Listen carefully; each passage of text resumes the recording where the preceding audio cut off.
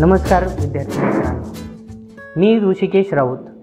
आज आपण सांकेतिक भाषा या घटकातील अंकांसाठी चिन्हांचा वापर या उपघटकाचा अभ्यास करणार आहोत. विद्यार्थी मित्रांनो सांकेतिक भाषा हा जो घटक आहे यासाठी इयत्ता पाचवी शिष्यवृत्ती परीक्षेमध्ये आठ टक्के भारांश दिलेला आहे.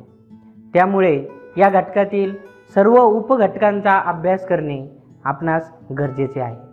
त्यामुळेच आजच्या तासिकेमध्ये आपण अंकांसाठी चिन्हाचा वापर या उपघटकाचा अभ्यास करणार आहोत. विद्यार्थी मित्रांनो या उपघटकातील प्रश्नामध्ये काही अंक दिलेले असतात व त्या अंकांसमोर त्याचे चिन्ह दिलेले असतात. विद्यार्थी मित्रांनो बघा या ठिकाणी आपण एक उदाहरण घेतलेलं आहे की एकसाठी त्याचं चिन्ह आहे त्रिकोण दोन साठी चिन्ह आहे चौरस तीनसाठी चिन्ह आहे वर्तुळ आणि चारसाठी आहे षटकोन. याप्रमाणे उदाहरण आपल्याला दिलेले असतात आणि त्यावरून संख्या आपण ओळखायची. ही संख्येसाठी येणारा चिन्ह समूह आपण ओळखायचा असतो. उदाहरणार्थ या ठिकाणी आपल्याला संख्या दिलेली आहे तीनशे चोवीस. तर तीनशे चोवीससाठी कोणता चिन्ह समूह येईल? तर तीनसाठी बघा आपण. वर्तुळ दिलेला आहे. दोनसाठी चौरस दिलेला आहे. चारसाठी षटकोन दिलेला आहे.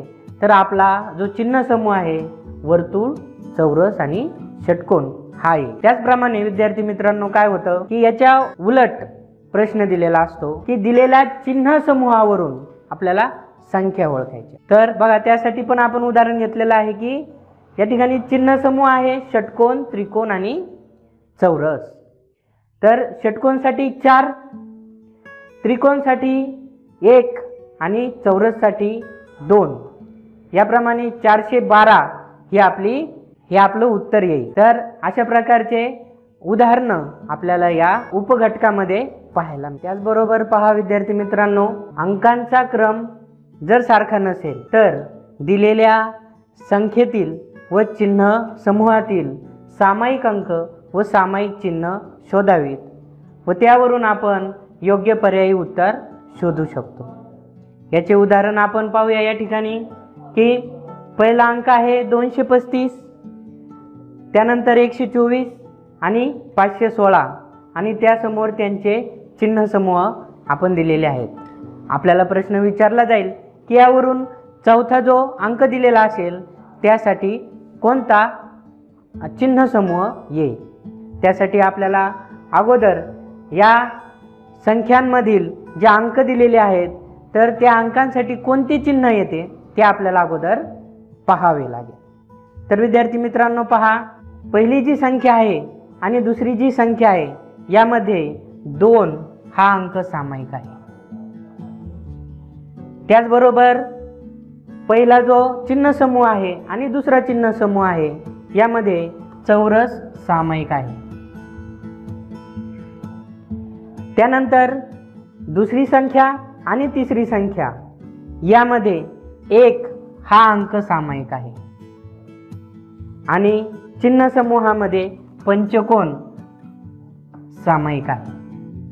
त्याचबरोबर आपण जर पाहिलं तर पहिली संख्या आणि तिसरी संख्या यामध्ये पाच हा अंक सामायिक आहे. त्याखाली रेषवरून त्यानंतर चिन्ह समूहांमध्ये चांदणी पहिल्या आणि तिसऱ्या च चिन्ह समूहामध्ये सामायिक आहे. त्याखाली आपण रेषवरून अशा प्रकारे आपण ठिकाणी सर्व जे अंक आहेत त्यासाठी कोणती चिन्ह आलेत हे आपण शोधू शकतो. या ठिकाणी बघा आता. दोन यासाठी चौरस हा सामायिक आलेला आहे. यानंतर विद्यार्थी मित्रांनो आपण जर पाहिलं तर एक या अंकासाठी पंचकोन सामायिक आलेला आहे. यानंतर पहा की पाच या अंकासाठी चांदणी सामायिक आलेली आहे.